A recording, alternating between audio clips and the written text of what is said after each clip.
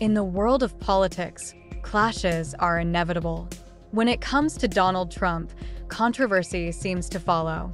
From heated debates to Twitter wars, Trump's fighting spirit is undeniable. Whether you love him or loathe him, one thing's for sure he's always ready for a battle. Love him or hate him, you can't deny the drama that unfolds when Trump steps into the ring.